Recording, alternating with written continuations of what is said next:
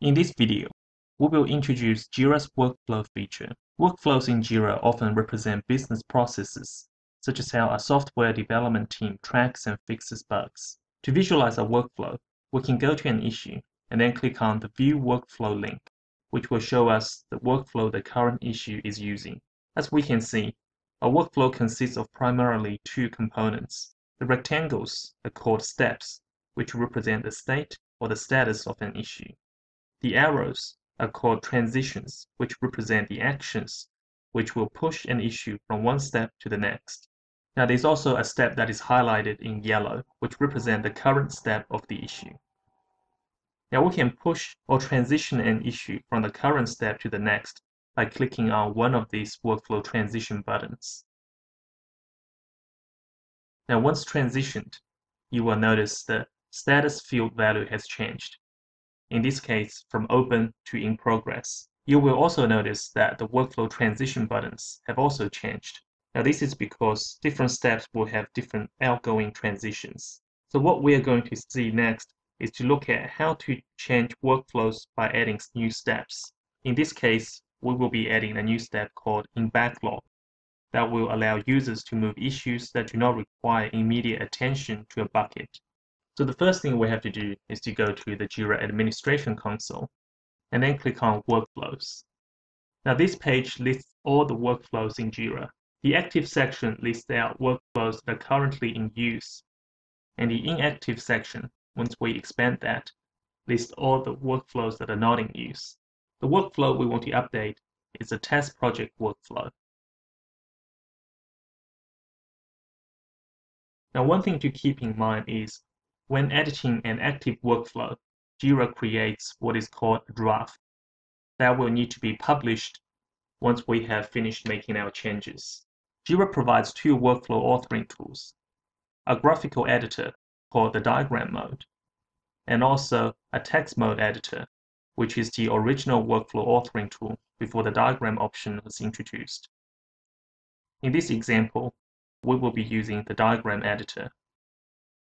Now, the first step is to create a new status that will represent our new step. And we can do this by clicking on the Add New Status button. So we will call our new status in backlog. And we can also select an icon representing our new status. Now, once we have created our new status, we can simply drag and drop that into our workflow.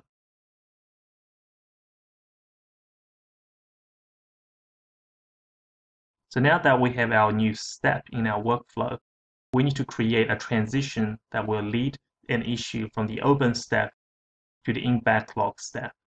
And we can do this by clicking on the create transition button. And first clicking on the originating step, and then the destination step. So now we are creating a new transition. So the first thing is to give it a name. Now when creating a name, it is a good idea to name it starting with a verb, such as move to backlog. Now we can also choose if the transition will have a view. So if we choose a view, such as workflow screen, when the user executes the transition, a screen will be displayed. So now we have created our first transition, which will lead the user to transition an issue from open to backlog. Now we also want to have the ability to move the issue back from in backlog to open. So we have to create a new transition going in the other direction. And we will call this reopen.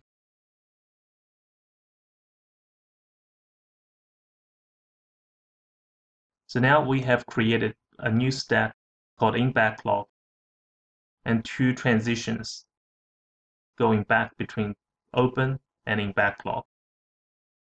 So now we have finished our changes. We can publish them by clicking on the Publish Draft option. Now when publishing a draft, we can also choose to create a backup of the old workflow just in case our changes create a problem.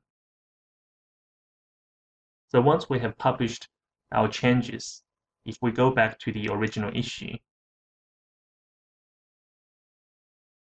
and then clicking on Stop Progress to move it back to the open step, we can see under the workflow option, we have our new Move to Backlog transition. Clicking on that, we get our workflow transition view. And once we have confirmed, we can see the status has changed to in backlog. And we also have the reopen option. And if we click on that, we can move the issue back into the open status.